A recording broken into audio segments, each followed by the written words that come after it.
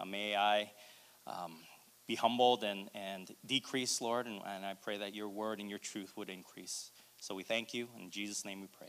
Amen. Amen. So, another story of, um, I don't know, well, Potiphar's wife. Maybe you've heard this story before, but we saw some things last week with Judah and, and Tamar, his daughter in law, and uh, it's shady. There's some sordidness in that, and we've seen some stuff in the previous chapters too.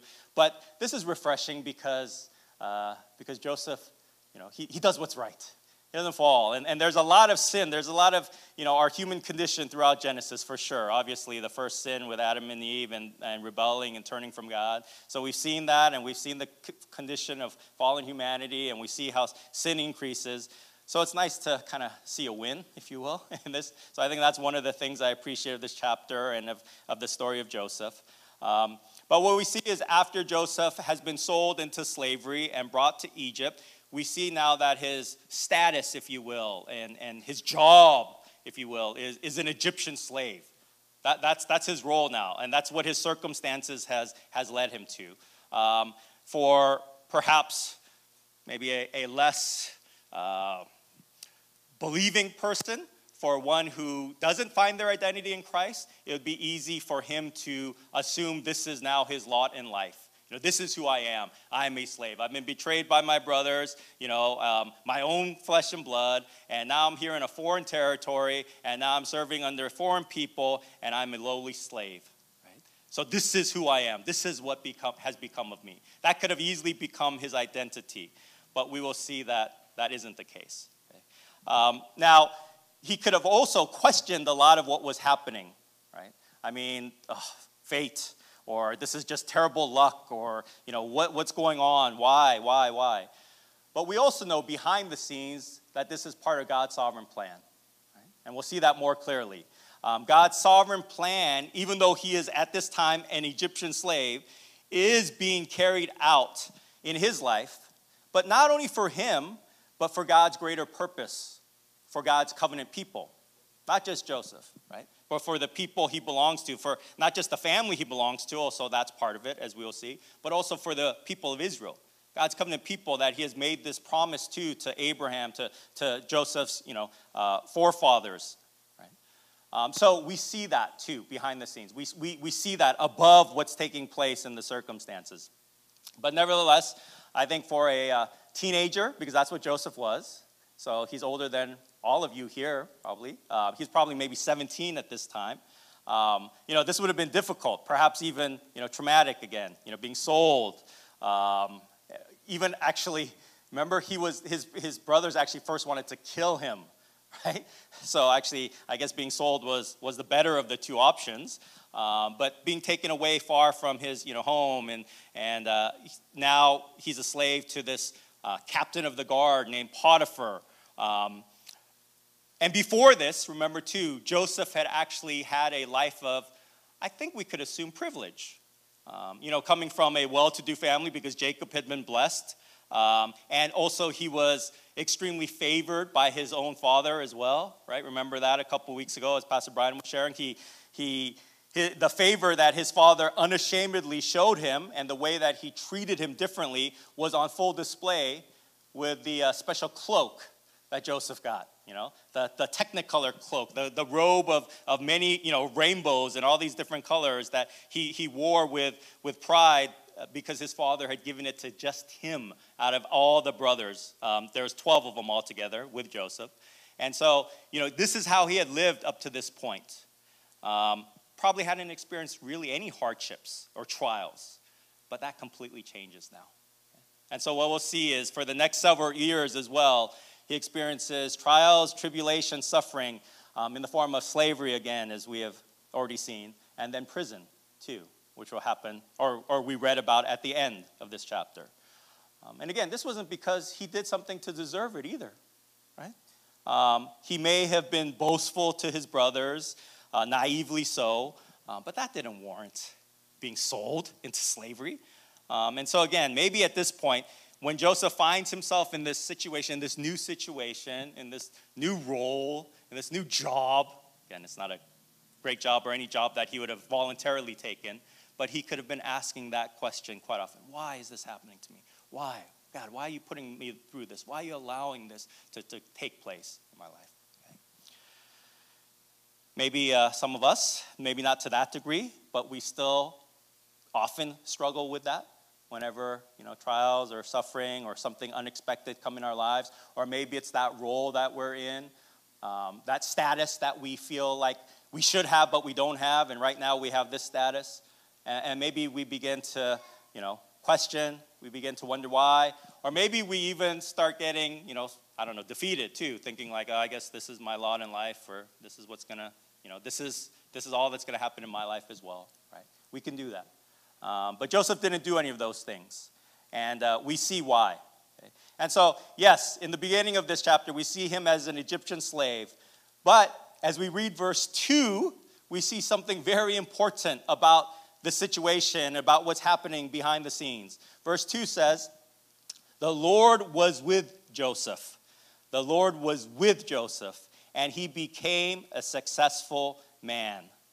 The Lord was with Joseph, and he became a successful man. And if you paid attention as we're reading the rest of this chapter earlier, you would have seen similar words to this. We see similar words to this throughout the chapter.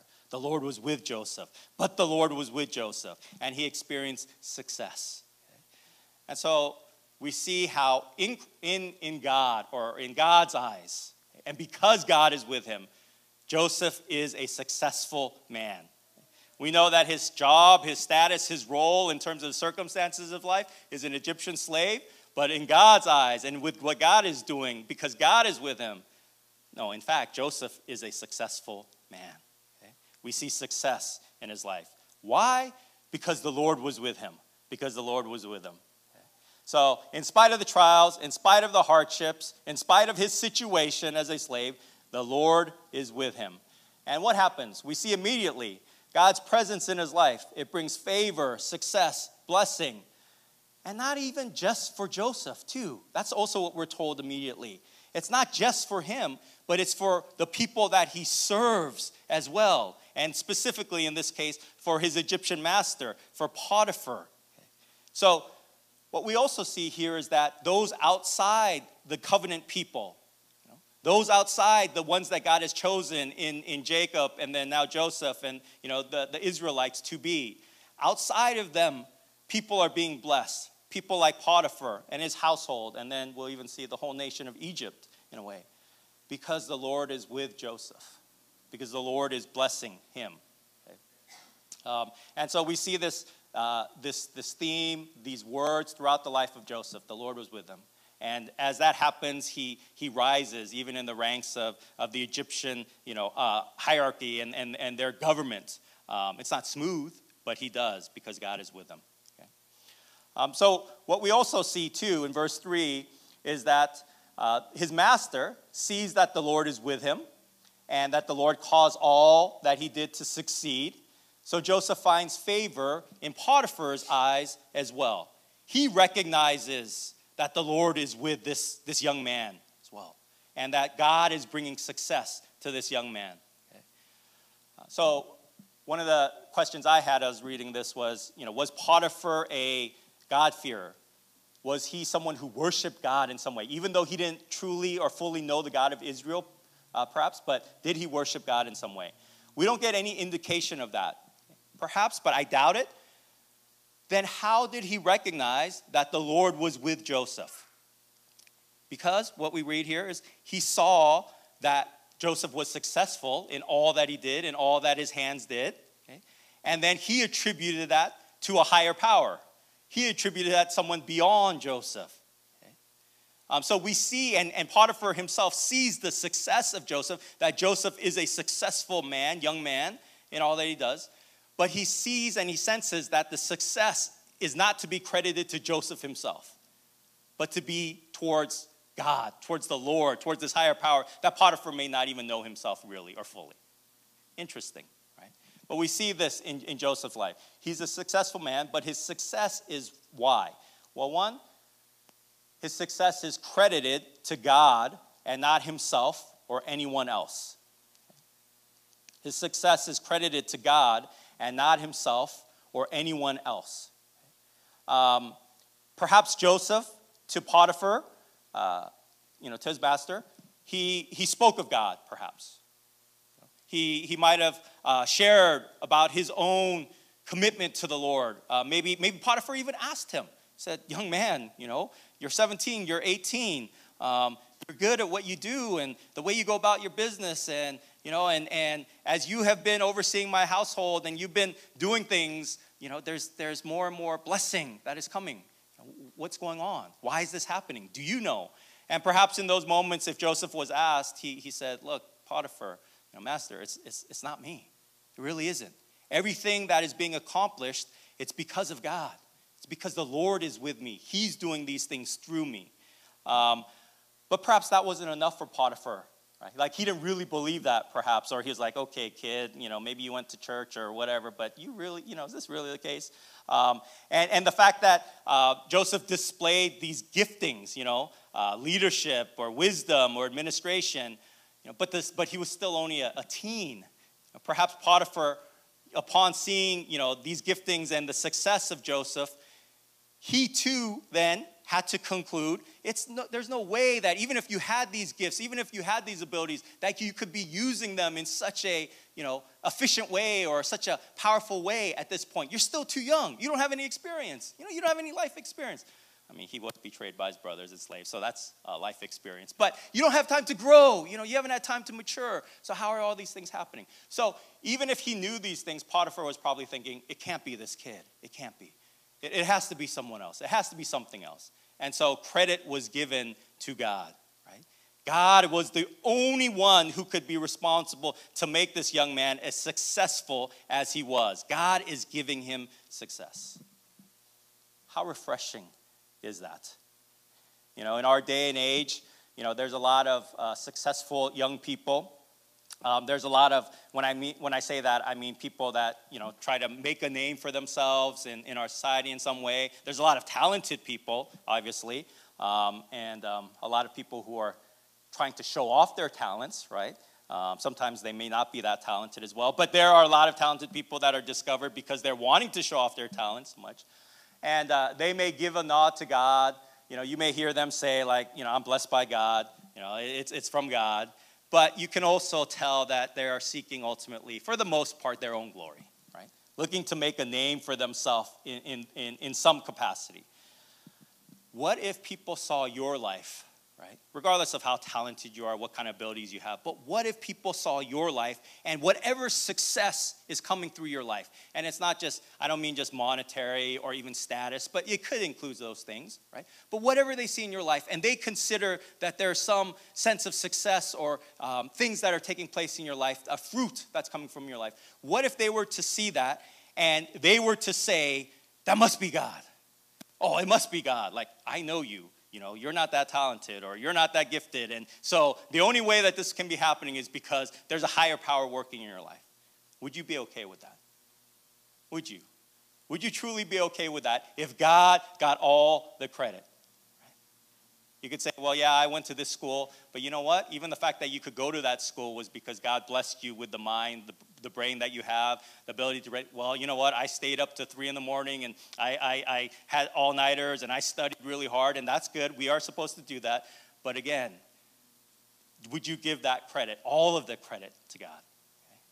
You know, I was really encouraged by um, a small thing, but something that uh, someone shared with me about how you know has, this person has been going through some changes in their lives and, and, and god is at work in this, person in this, this person's life. And so there's been transformation that's taken place. And to, to the outside to those that have known this person um, but you know don't really know god um, they have seen this person's life and they've noticed the change. They've noticed success in that sense or differences right? A growth.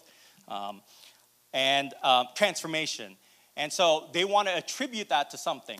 So I think one of this person's friends said something like, oh, it must be because of these other relationships that you have now. It must be because people have influenced you and people have been, you know, changing or, or, or doing things to, to help you change. Right? And, and there's some truth to that, I think. But what was really encouraging was how this person felt so um, like God was wronged when he was not getting the credit. And, and so this person felt like, you know, I want whoever sees my life to know that the reason why there's anything that's taking place in my life is because God has been working, because God has been bringing that change, because He is the one and He alone is the one who gets credit for any transformation, any success in my life. And what I was so encouraged by, it was a small thing, really, but was just the, the sense of um, responsibility, nah, not so much responsibility, but, but the sense of like this bothered this person so much that someone else, even a good person, even a person that may have helped, would get some of the credit or some of the glory that God only deserved. Right? And, and so when I saw that, I was like, okay, this person recognizes that, yes, you know, the church can help. Yes, individuals can help. But ultimately, it is God who does this work in our lives, and we want him to get all the glory and credit for what takes place in our lives. And to be actually like vigilant and to be jealous for God's glory in that way was, was encouraging. Right? And I think that's what Joseph would have wanted to. He would have wanted to make sure that any success in his life, anything that was credited to him, would have been given to God, would have been given to him, to him alone. So Potiphar also recognizes, or is smart enough perhaps, uh, to recognize that Joseph should be given more responsibility. He doesn't let his pride get in the way. He doesn't see Joseph as a threat, which also takes some humility. But instead, what does he do? He entrusts uh, to Joseph um, the, the ability or the power to oversee his whole household. But we also see this, too, that uh, Joseph's success is not the result so much of his ability, but is more the result of his character and his integrity. The reason why Potiphar trusts him to oversee the whole household is not just because what Joseph has done is successful, but ultimately it's because he can trust this young man. If he could not trust this young man, he would not give him this responsibility or this authority um, over his house. Right? Um, it wasn't just about what he could do. And so he puts him in charge of the whole house because he sees the integrity that Joseph possesses, even though he's young. And so he trusts him. And then, as a result of that trust, then as Joseph is you know, put in charge of the whole house, then we see that God blesses the household.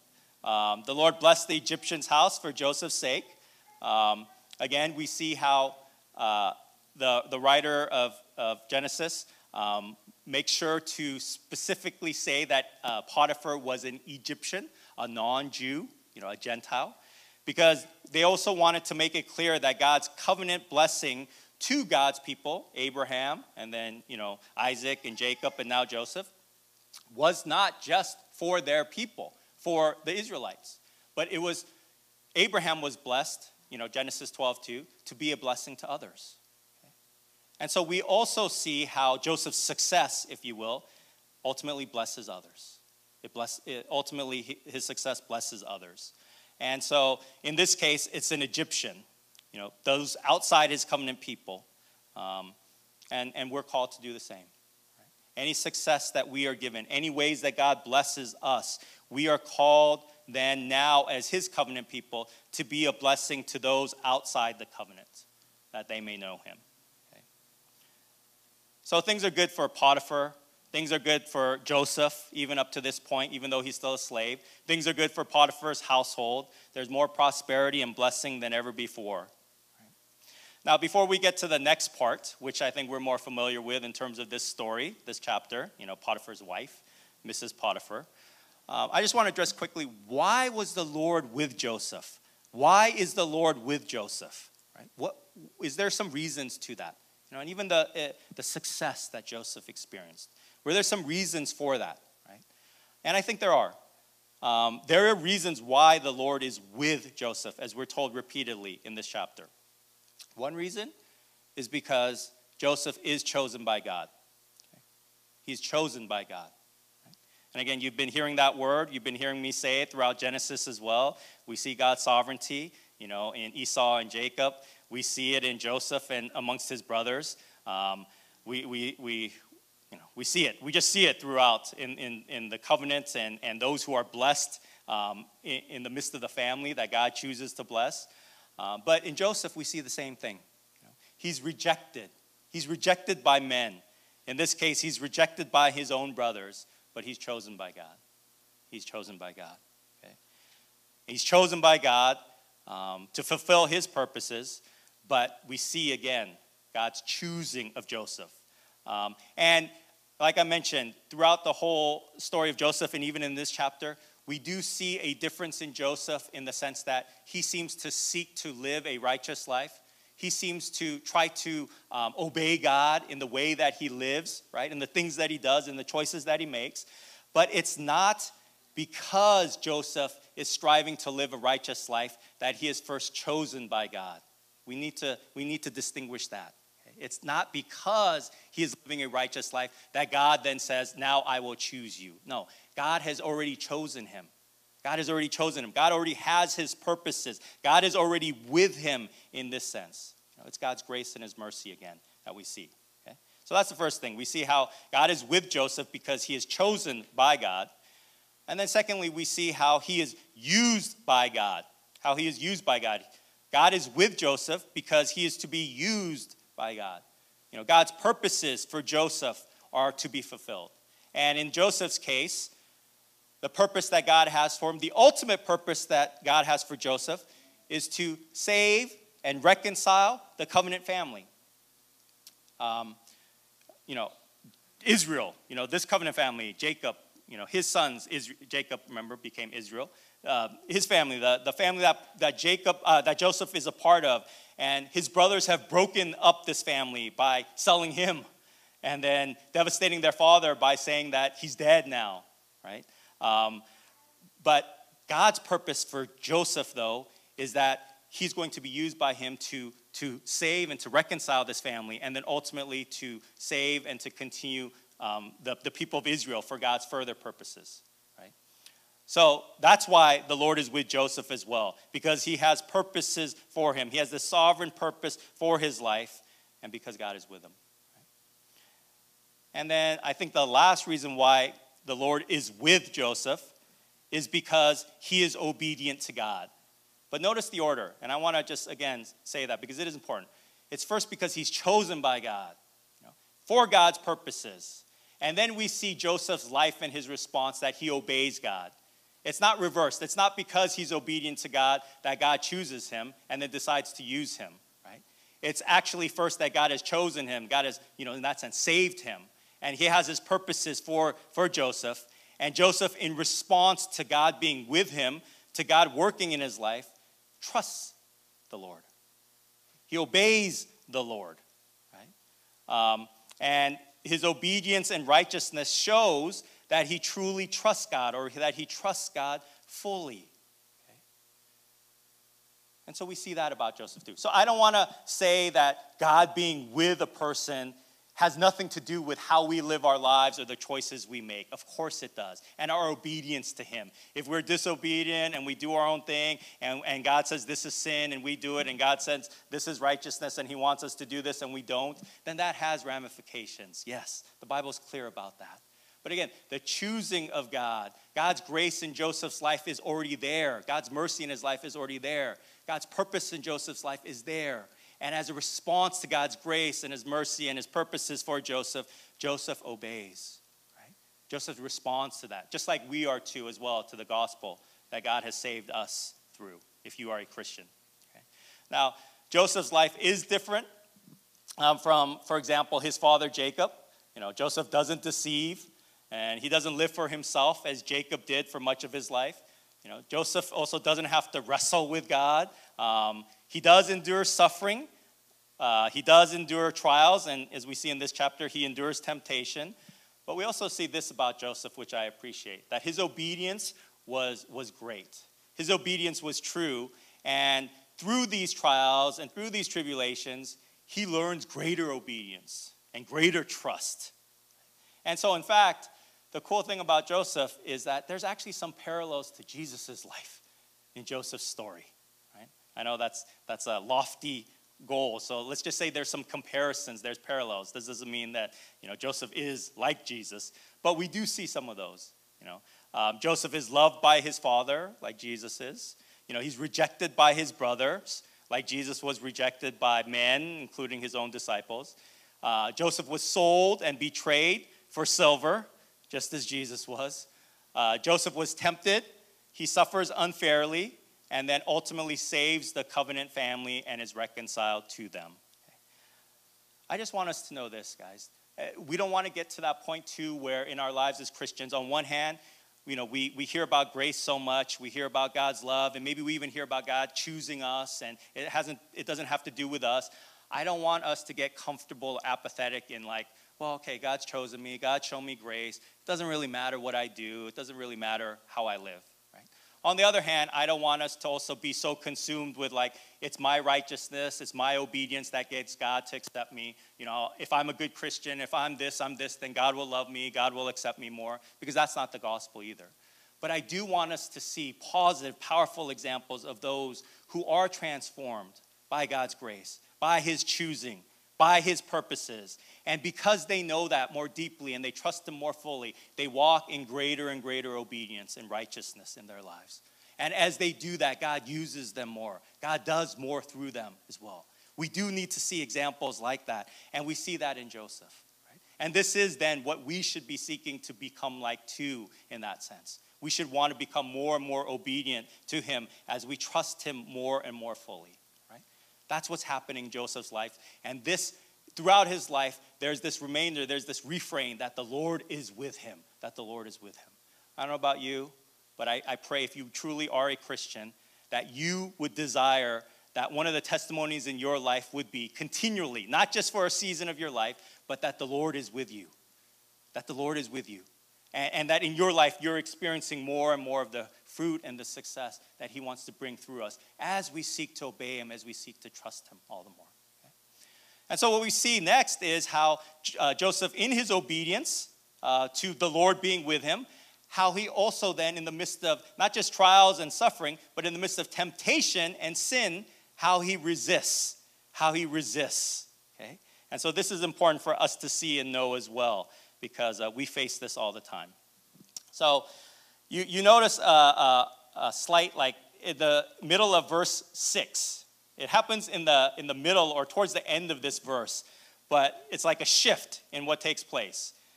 Um, it says, Now Joseph was handsome in form and appearance. And then verse 7 And after a time, his master's wife cast her eyes on Joseph and said, Lie with me. Right? So now what happens? Well, he's, he's taken, uh, he's in charge over Potiphar's household, um, and then temptation comes his way. And uh, trial comes his way in the form of temptation. Perhaps by this time, maybe he's uh, 19, maybe he's 20. Again, he's still young, uh, but he's handsome. You know? and, and it says uh, he's, he's handsome in form and appearance. The way I read that, I'm not sure, but it means he's just not good looking here, but you know, his body, his form, you know, is, is, is, is nice, is good. He's, he's manly, he's, uh, you know, whatever you want to put there, but, but he, he's put together. He's put together, okay? And so Potiphar's wife, um, you know, has watched him for a while around the house, you know, doing chores, etc., you know, this and that. And uh, she casts her eyes on him. She casts her eyes on him, right? Um, so she wants him. She, she desires him. She starts lusting after him. And because she has authority and power, she's like, I'm going to get him. So, so what does she do? Well, basically, you know, uh, she says to him, Lie with me, sleep with me, right? And uh, what does he do? He refuses, verse 8. And, and he says, you know, it's not, I'm, I'm resisting your advances, not just because of what your husband has entrusted me with in terms of being overseer of this house, which is, again, very responsible and wise for his age or beyond his age. But notice what he also says, too. He gives those reasons, right? He says, I can't do this because of what my master has done and how he trusts me. Um, but then he also says um, at the end of verse 9, How then can I do this great wickedness and sin against God? Right? So, yes, I don't want to betray my master's trust, Potiphar's trust because of all the, the responsibility and trust he's shown me, you know. Um, but more than that, more importantly, I cannot, I refuse to sin against God. I refuse to sin against God. But that doesn't um, stop Mrs. Potiphar. And, and seriously, you know, as I was reading this too, I mean, if I'm being completely honest, as I was reading this, I was like, what if I was in that situation? You know, take back 20 or so years, um, more than that, but when I was like early 20s or something like that, or maybe my like, hey, hey, you guys know, and you know even still, you know, regardless of what your age may be, especially men, like, you know, hormones going crazy and he's, he's in a foreign country, no family, no nothing. I'm sure he desires companionship. I'm sure he's lonely, all these things, and you see a woman, and we don't know what she looks like, whatever, but, you know, we see a woman that's throwing herself at him, right? What would you do? What would you do? Um, he's a young man with hormones. Um, they're in the privacy of their own this home. Her husband's gone every single day to work, and day after day she is beckoning him. Seriously, we don't know how long this was going on for, but perhaps months. Men, would you resist such temptation day after day? And then I thought of the fact that, you know what, he has nowhere to go right? He's a slave. It's not like he could go, I'm just to go get another job. You know, this, this, this, this boss's wife, oh, she's too much. I, I, can't, you know, I can't take this. I got to just get out of here. Um, I know it's a good job and the master trusts me, but I cannot do this. I refuse to do this. No, he lacks the freedom to do that. He's still a slave, right? He can't just go and do something else. Yet we see day after day, he resists her seduction and he commits in his heart and with his mind, with his eyes, to not sin against the Lord. Right? And he's 20. you know, um, that's something. That really is. And so we see his obedience to, to the Lord and his desire. And this is the obedience that says, I will not sin against you. I refuse to sin against you. It's not the obedience that says, like, okay, I'm going to do this for you, God. That's important. But it's the obedience that says, I'm going to resist. I'm going to say no to sin as I was thinking about Potiphar, uh, wife, Potiphar's wife as well, reminded me of uh, like the Proverbs in Proverbs, like Proverbs 7.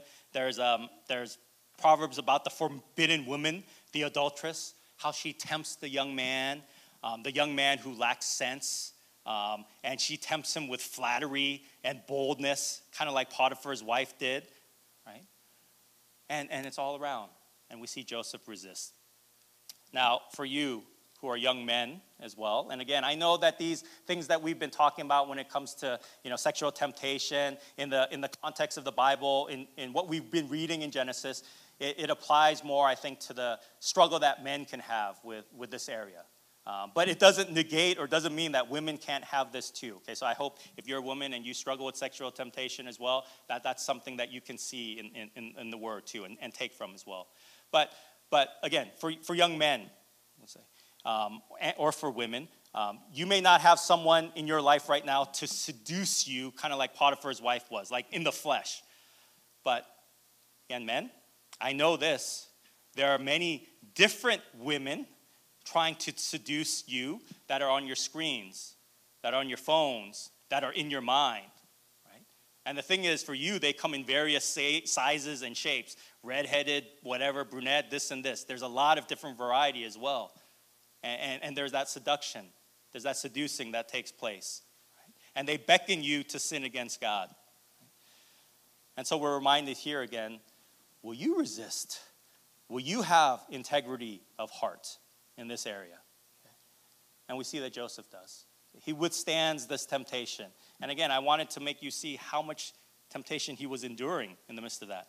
But he resists because he says, I refuse to sin against God.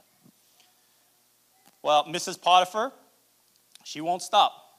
And so, not is it not only her words are being used now, physically she tries to catch him this time. You know, and this is the same thing about sin and temptation that we need to be honest about. We have to always be on guard because they'll always continue to try to woo us in some way, shape, or form. Right? Um, and so when there's no one in the house, she sees an opportunity and she literally grabs him. Right? She grabs his arm and then she says, "Lie with me." And then what does he do? Yeah, I mean, this, you know, he doesn't say, okay, you got me finally, you know, whatever and stuff. He, uh, he, he runs. He runs, right? He runs. And as he does, his garment, whatever he was wearing, it comes off. And then we see what she does. You know, she's angry perhaps because she's been refused so many times, or maybe she's fearful uh, of being suspected of impropriety herself. So she claims that Joseph tried to rape her. Um, and she tells the, the people that are working, the other men and the other people in the house, like, this is what happened, this is what happened. And then she repeats that same story to her husband, to Potiphar, later. But Joseph, what does he do? He ran. We don't know where he ran to. We know that he left the house for sure. But it also seems like he didn't actually go too far. Or, in other words, he didn't run away. Right? So, this is interesting because he ran from her but we still see his integrity because he didn't run away from his responsibilities. That's also really like, wow, Joseph, like you're a young man and this has happened. So you run, you got to get out of the house. But I don't think he just said, like, I'm just going to go and, you know, forget this. Like he still was responsible in his role, in his job, right? Um, and so he remains perhaps on the grounds of Potiphar's house, uh, maybe the property. And then once Potiphar hears his wife's story, you know, and he gets upset, then he has Joseph arrested and put into prison. Okay? You know, there seems to be no resistance in Joseph, too. Maybe he just didn't have a choice because he was a slave, but we don't see that. We don't read that. And, and given Joseph and his integrity of heart, um, I don't think he actually tried to like say, no, no, no, this is really what happened. I mean, maybe, but it doesn't seem that case. Um, and with his lack of rights, probably, or maybe he thought, you know, what's, what's the point, too? But uh, he knows what happened and he knows what the truth is. Right? And in that sense, that's good enough for him, even in this situation. So he takes the punishment, even though he may not deserve it, he takes that, right? In his integrity as well, and in perhaps his trust of the Lord over his life. But you know what's interesting, though, is that um, even though he's put into prison, the fact that he's put into prison shows some grace or shows that the Lord is with him too. Because, one, attempting to rape one's master's wife as a slave, likely in this culture and in many cultures, would have resulted in death. It's like, you know, you did that, you're a slave, you're a servant, and you tried to attack the, the wife of the master's house. You know, it's not prison, it's, you know, you're dead, right? But that doesn't happen. And we also see that the prison that he's actually confined to is where the king's prisoners are. This is another way to actually say, likely, that this was like a white collar prison. You know, this is, this is where people get treated better, um, and that there's more leniency, and we'll see that in the next chapter. So it seems that Potiphar, for whatever reason, is lenient with Joseph too. Maybe it's because, you know, he saw that God was with Joseph and maybe he likes the kid too and he's like, this kid has been so great, I've never had someone like him. Maybe also he actually kind of knew his wife and was like, I don't know if I could completely trust her, perhaps too. But I think the biggest reason still was God was with him, because that's what we're told. But the Lord was with him, right? And then so in verse 21, even after he's put into prison, what does it say? But the Lord was with Joseph and showed him steadfast love and gave him favor in the sight of the keeper of the prison. And so, just like Potiphar's household, Joseph ends up being put in charge of all the prisoners, and then the warden's like, I give you complete trust. You know, Joseph, I trust you. You run it. I don't even need to do my job because I trust you now, right? That kind of favor. But we see that again. But the Lord was with Joseph. But the Lord was with Joseph. And I've said this before, but uh, I'll repeat it, and maybe I haven't said it for a while, but every time there's a but in the Bible, or oftentimes when there's a but in the Bible, we need to pay close attention. Right? We should be paying close attention to the buts of the Bible in that sense because they bring such good news, ultimately, right? And uh, one, they always tell us first of our predicament, right? Our condition and um, the hopeless situation that we are in, uh, in and of ourselves. Okay? Um, so Ephesians chapter 2 has this big but in Ephesians 2 4, because preceding Ephesians chapter 2, verse 4 is how we are dead in our trespasses, how we're spiritually dead, you know, how we went with the ways of this world and we, we followed the, the, you know, the, the, the spirit of this age and talking about, you know, all those things that, that we are dead in and our sinfulness. And then in verse 4, it says, But God, who is rich in mercy, has saved you now in Christ, right? So the, the first thing that we're told of whenever there's a but is it points us to what our predicament was or what our situation was apart from God. And then it gives us hope because of what God has done and continues to do in our lives. So, in Joseph's case, up to this point, Joseph is sold into slavery by his brothers. But the Lord is with him. So he's not, he doesn't die. His life is not lost. The Lord is with him. He ends up in an Egyptian captain's home as a lowly slave, but the Lord is with him, and he becomes overseer of all the household. He is tempted again and again by Potiphar's wife, but the Lord is with him as he sets his heart to not sin against God and he resists. He is falsely accused and thrown into prison. Seems unfair. But the Lord is with him and shows him his steadfast love and favor, and he experiences that in prison as well. This is the but that applies to those of us who are in Christ. And I hope you have experienced that in some capacity, and I hope we continue to do in greater capacities. But do we trust that He is with us in this way? That in whatever situation and things that come, His steadfast love is truly over our lives. Again, this doesn't mean we won't end up in hard places. You know, it doesn't mean that there won't be suffering and trials, sickness, whatever it may be. But if God is with us, we can trust Him and we can show that we trust Him um, through our obedience to Him, right? In, in doing what He asks us to, as well as resisting what He tells us to resist and say no to as well, because He's with us, right? But the Lord is with us, right? And that's what Joseph did. Um, he trusted Him, he trusted that God was with him, um, he resisted sin, and Jesus did the same, right? Jesus didn't give in to temptation. He resisted sin to the point of the shedding of blood so that ultimately he could be that perfect sacrifice for us and for our own sinfulness. And he gives us the strength to do the same. Not in the sense that we're going to never sin or we're always going to obey, but that as we continue to grow in him, we experience more and more that the Lord is with us and he is working in and through us. And so we see that in Joseph's life. And that's something that God wants to do in each of us. The Lord is with us, and He gives us then success, not in terms of, you know, our, our, uh, the, the worldly view and whatever the world says success is, but in terms of in God's eyes. Okay? He makes us then, you know, fruitful in that way. And that's what He desires to do for us. So let's pray. Father, um, thank you for the example of Joseph. Thank you for the life of Joseph. Um, I know throughout the book of Genesis, there's a lot of uh, real life examples. Um, there's a lot of human failure and sinfulness that we see in some of these men and women